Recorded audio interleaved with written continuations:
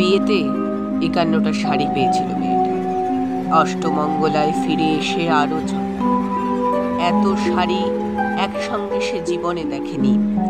আলমারির প্রথম তাকে সে রাখল সব নীল শাড়িদের। হালকা নীল, একটাকে জড়িয়ে ধরে বলল, তুই আমার আকাশ দ্বিতীয় থাকে রাখল সব গোলাপিদের। একটা গোলাপিকে জড়িয়ে সে বলল, তোর নাম অভিমান। তেজপাতা রং যে শাড়িটার, তার নাম দিল বিষাদ সারা বছর সে শুধু শাড়ি উপহার পেল। এত শাড়ি সে কি করে এক জীবনে পড়বে কিন্তু বছর যেতে না যেতে ঘটে গেল সেই ঘটনা।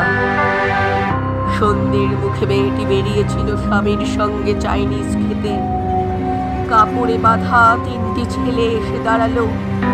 স্বামীর তল পেটে ঢুকে গেল বারো ইঞ্চি। ওপর থেকে নিচে নিচে নেমে ডান দিকে পড়ে রইল খাবার।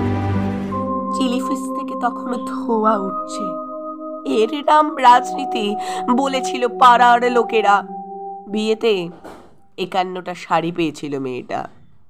অষ্টমঙ্গলায় ফিরে এসে আরও ছটা। একদিন দুপুরে শাশুড়ি ঘুমিয়ে সমস্ত শাড়ি বের করে ছতলার বারান্দা থেকে উড়িয়ে দিল নিচের পৃথিবীতে। শাশুড়ি পরিয়ে দিয়েছেন তাকে সাদা থান। উনিশ বছরের একটা মেয়ে, সে একা।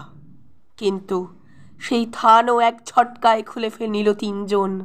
পাড়ার মোড়ে একটি সত্য, নগ্ন বিধবা মেয়ে দৌড়াচ্ছে আর চিৎকার করছে, বাঁচাও! পিছনে তিনজন সে কি উল্লাস নির্বাক পাড়ার লোকেরা। বিয়েতে একান্নটা শাড়ি পেয়েছিল মেয়েটা। নমস্কার।